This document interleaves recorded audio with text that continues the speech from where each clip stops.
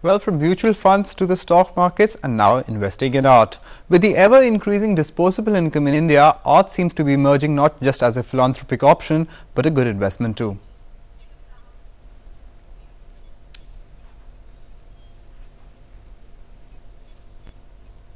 Investing in art is catching on in a big way in India in recent years. Mumbai-based Tyeb Mehta's Demon King Mahishasura was the most expensive painting ever sold by an Indian artist. It fetched 1.58 million dollars at a Christie's auction in London in 2002. Thus, art is now not just for art's sake, it spells big bucks too. Today, it's the size is put at 1,000 crores. But like even we are planning of a fund of the size of 500 crore after this 150 crores. And we are finding with the people in the queue are wanting to take it.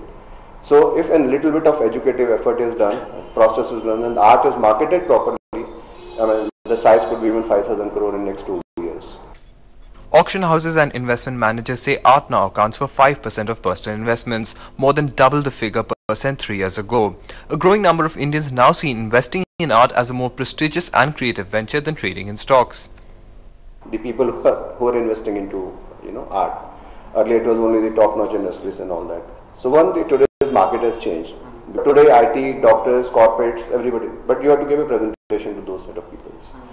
Right? It could be even a good shopkeeper also the, disposable income should be there, investable money should be there. It's how you, you present and how you bring in closer to the art.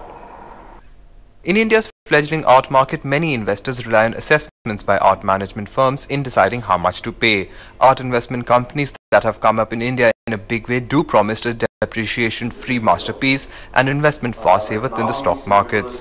For India's fast-growing breed of high-value investors, this seems the way forward. They say a picture is worth a thousand words. Well, pictures such as this one over here are not just worth words, they're worth a few lakh rupees. So art is emerging